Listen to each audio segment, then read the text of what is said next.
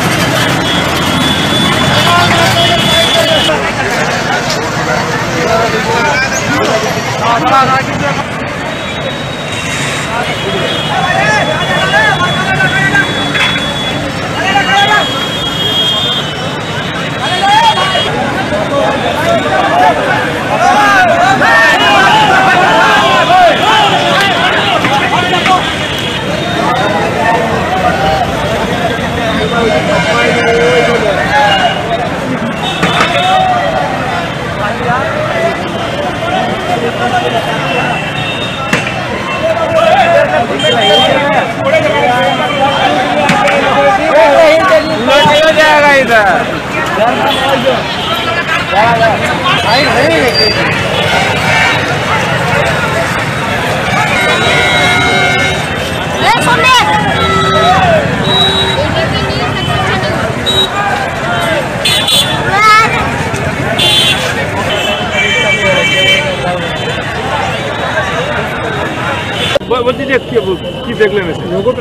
এরকম কনসাইনমেন্ট যখন আসে তখন এখান থেকে যারা নিয়ে যায় তারা সার্ভে করে রোড সার্ভে করে।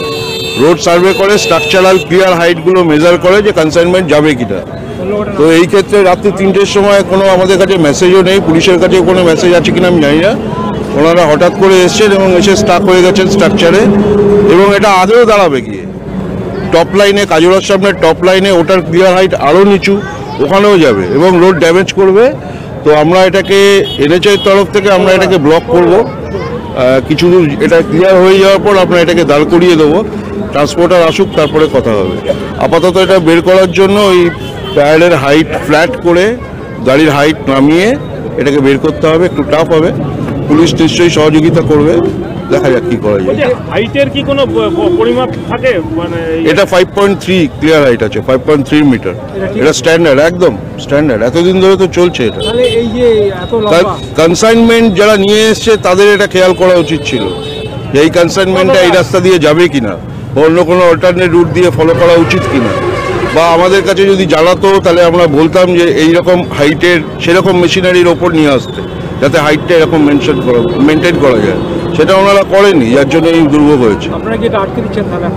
না আপাতত তো এটা বেরিয়ে যাবে এখান থেকে বেরোক এটা এটা ভাইটাল জায়গায় দাঁড়িয়ে আছে এটা বেরিয়ে যাক এখান থেকে। ফার্দার কাজুয়ার ওখানে যেটা আমাদের টপ লাইন আছে ওটার ক্লিয়ার লাইট আরও কম ওখানে আটকাবে এটা।